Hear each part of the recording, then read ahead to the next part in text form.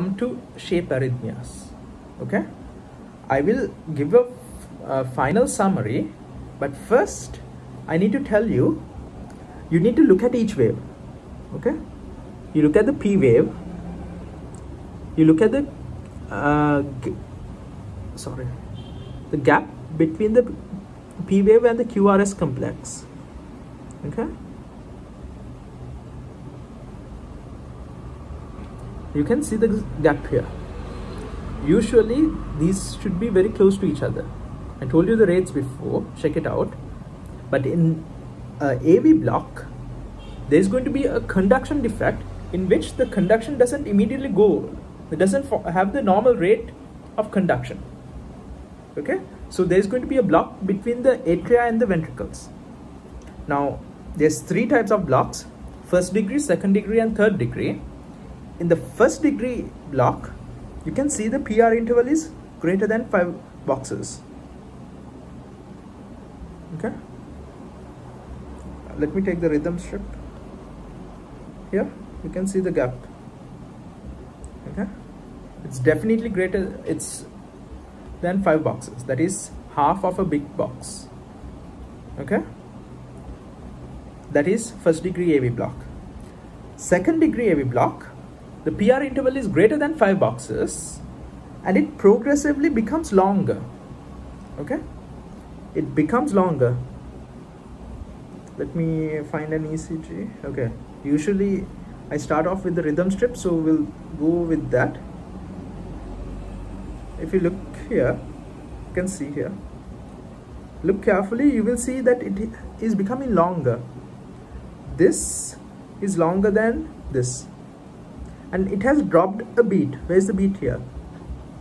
There's no QRS complex. You get a P wave, but then there's no QRS complex. Okay? That's what you call dropping a beat. So in second degree AV block, Mobitz type 1, also known as Wenckebach, you get a PR interval greater than 5 boxes, becoming longer, suddenly dropping a beat. Okay? And this does not progress usually you get it after an inferior MI does not progress and so you do not need to really treat these patients. Okay? Next Mobitz type 2 in Mobitz type 2 we get a constant PR interval and then dropping a beat. So in uh, type 1 heart block there's no dropping a beat but the gap is going to be greater than 5 boxes.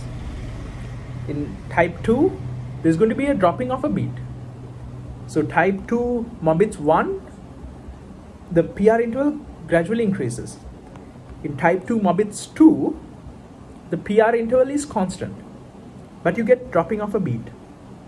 Okay, look at this. You can see the gap.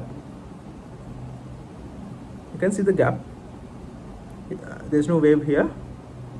Uh, you can see these gaps are constant. Then there's no wave here okay. You can follow the wave and you can uh, check it out. Next we have heart block. Okay?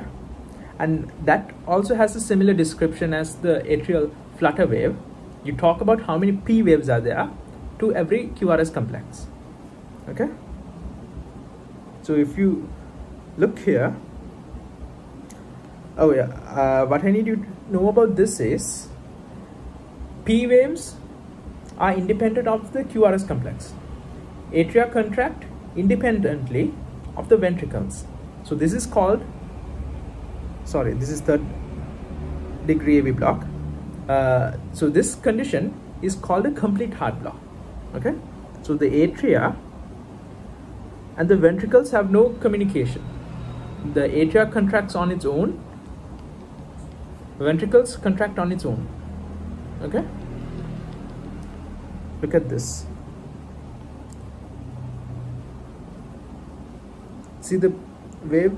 The p wave is here. Here. Here. Uh, actually the easiest way is you find the gap. This gap is going to be constant. P p p. Then q. Q. You can see a qrs complex. You can see the gap the p waves are obviously independent of the QRS complex okay? And uh, also this situation the waves may look funky because the p waves can be inside the QRS complex. Okay? In, like in this example. You can see. Okay the p wave is somewhere inside the QRS complex. It's a vector addition so you get a enlarged wave here okay? Next is the MI changes. So this is where the LEDs and their location is most important. Remember if you see an ST elevation so we have P Q R S and T together. P Q R S T elevation. It is called ST elevated myocardial infarction or a STEMI okay? Basically we are uh, discussing the ECG changes seen in heart attack. If you look carefully you can see the ST is elevated here. Okay? 2 3 AVF can see the ST is elevated here. That is called an inferior STEMI okay? You look for this kind of wave. Okay? You can see in this ECG the lateral leads AVL V5 and V6 you can see the ST elevation. You need to check each lead. You will see the second lead is normal. Third lead normal fourth fine. But here you can see the you have to follow the wave. PQRS complex. You can see the ST elevation. Remember you need to always follow the wave. It can start off upside down but just follow it. You can see it's a normal P Q R S T. Each lead each wave just follow it. Okay it's a strip. You just need to go on like this. Okay next we have this is called a lateral STEMI it's a lateral STEMI because you get the changes in uh, AVL V5 V6 mostly. Even V1 you can in LED 1 you can see the change here. So you can see the P Q R S T elevation. Okay? Next anteroseptal STEMI 1 2 3 4 5 6 so 1 to 4 is anteroseptal. Okay? You can see the ST elevation here. You can see P Q R S T. That's fine. But here you can see P Q R S T elevation. ST elevation. Okay? Anteroseptal STEMI these are a bit hard examples but uh, usually you get very obvious changes okay? And you get ST depression in the other leads which are not affected. Okay? What does that mean? So in this case you can see 2 has an ST elevation ST depression. V3 has a ST depression. You can see P Q R S T depression.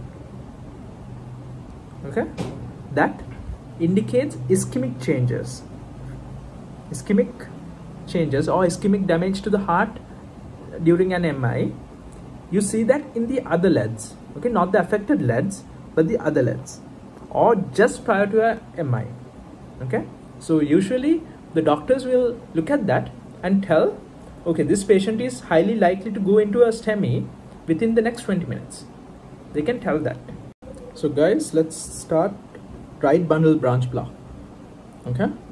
First I want to tell you what happens in a bundle branch block. So we have our heart and we have the septa in the right wall okay? I just want to highlight that area so I'm just gonna draw that. Okay? This is the right ventricles. So the impulse will come to the SA node and go along the bundle of His to the right bundle and the left bundle this is the normal conduction pathway that I'm drawing. okay? It will be going simultaneously so that the ventricles will contract at the same time. Okay? So what happens if there's a block here?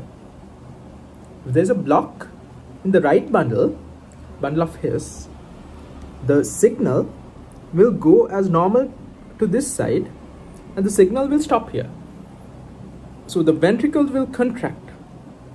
The left ventricle will contract right ventricle cannot. Next what happens is the left ventricle will send the signal across the septum to the other side and contract the right ventricle. Okay? Understand it? There's a block in the right bundle. So the conduction pathway will go to the left ventricle and that will contract while the right side does not contract. Then the left ventricle will send its signal across the wall to the sorry the left ventricle will send its signal across the wall to the left ventricle causing it to contract. Okay? Left ventricle is activated normally. And where do we have the next definition?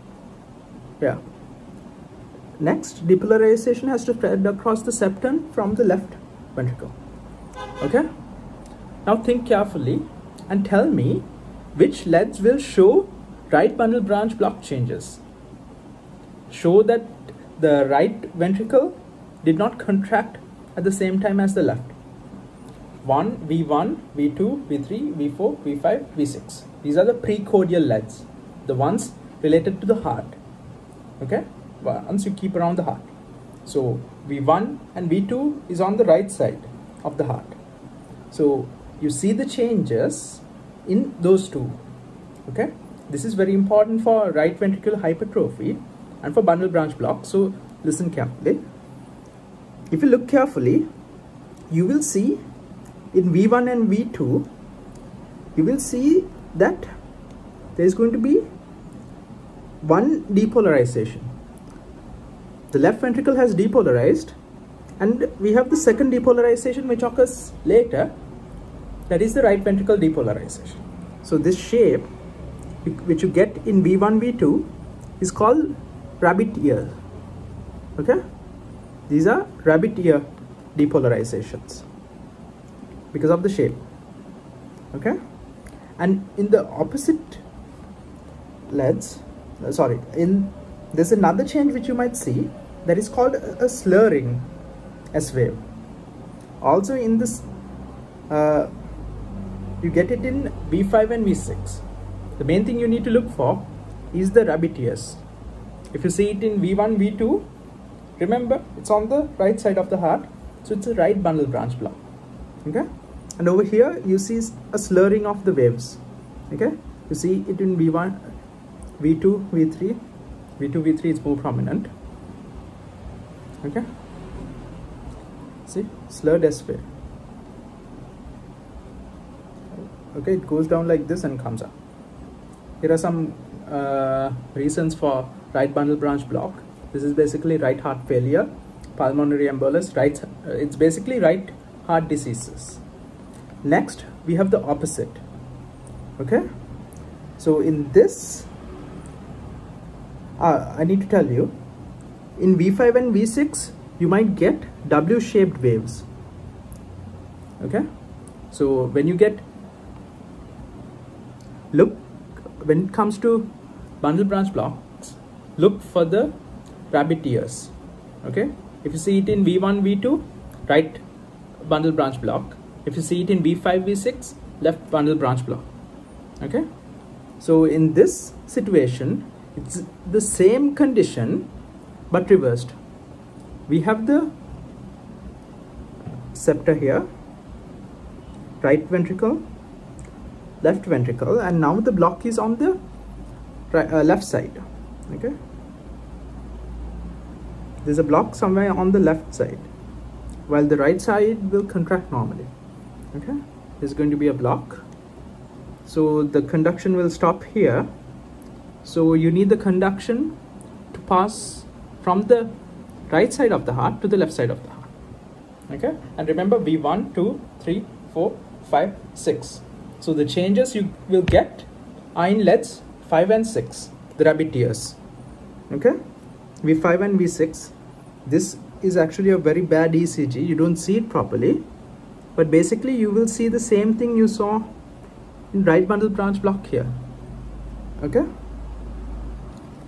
And if you look carefully in the opposite lens v1 v2 you will get w shaped waves.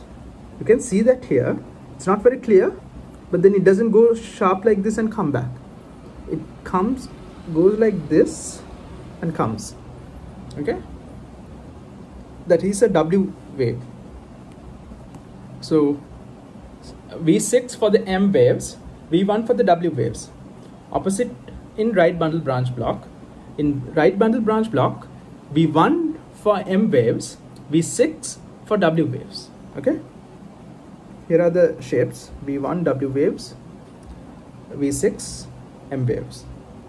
Okay? And again this is related to the left heart diseases mainly. Okay? We will talk